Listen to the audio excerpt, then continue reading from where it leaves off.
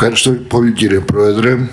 Το Δεκέμβρη του 2021 τονίζαμε ότι ο προπολογισμό του 2022 είναι αντιλαϊκός και ταξικός και θα οδηγούσε στην επιδείνωση της θέσης λαϊκής οικογένειας.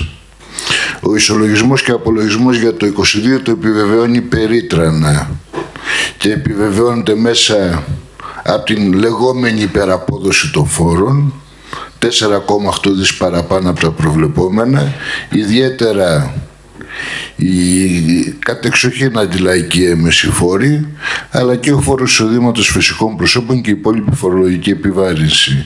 Και δεν φτάνει μόνο αυτή η υπεραπόδοση των φόρων, αλλά ταυτόχρονα έχουμε και την ακρίβεια η οποία το 22 ε, έχει, βρίσκεται στο υψηλότερο της επίπεδο τόσο όσον αφορά την ηλεκτρική ενέργεια όσο και στα τρόφιμα, ποτά το, ε, η οποία έχει ως αποτέλεσμα να αποδεκατήσει ακόμη περισσότερο τα λαϊκά εισοδήματα.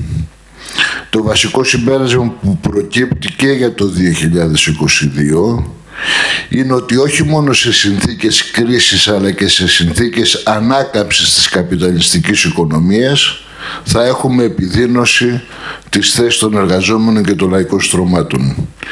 Γι' αυτό το Κομμουνιστικό Κόμμα Ελλάδας καταψηφίζει τον ισολογισμό απολογισμό και του 22 και περισσότερα θα πούμε στην Ολομέλεια. Ευχαριστώ πολύ.